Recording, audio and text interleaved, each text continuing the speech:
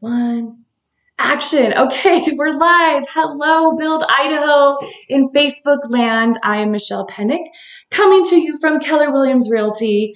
But we're not going to talk about real estate today because it's Friday, it's the weekend, and we're going to talk about another important topic where to eat.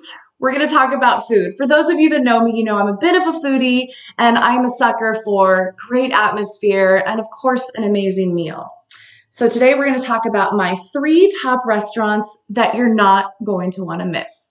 All right, let's dive into it. We're going to go to Boise first and we're going to Barbacoa. Barbacoa is a Boise favorite located in the heart of Boise. They are an open fire grilling process and grandfather of American barbecue. Their culinary delights are a tribute to the rancher and cowboy of the Pacific Northwest. so basically, barbecue barbacoa celebrates the influence of Spain, Argentina, Brazil, and Mexico. From ribeye to ribs to paella, scallops, and even a dish they call when pigs fly.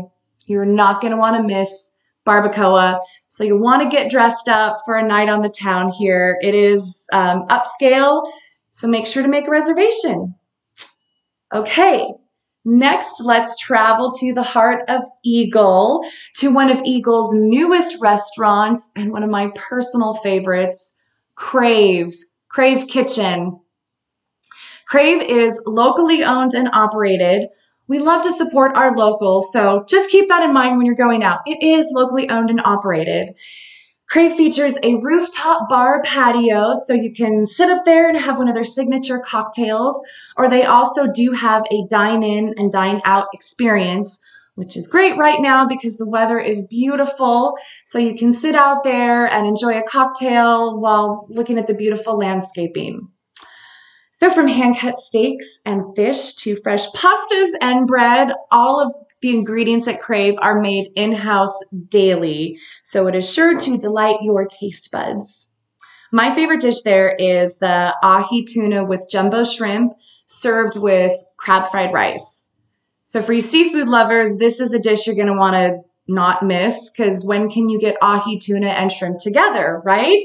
It's perfect. Okay, and last but certainly not least, I'm actually going here this weekend. I'm super excited. Brick 29.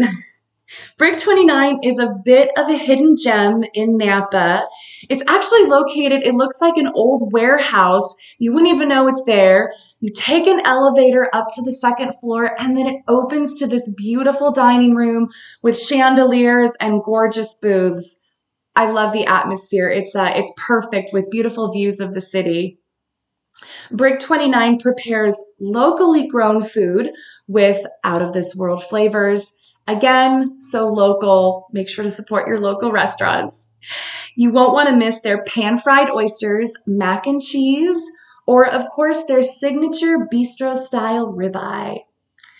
You're also going to want to make a reservation um, to go to Brick 29. Again, I'm going there this weekend, so I hope to see you there. All right, that's it for now. I hope you have an amazing weekend.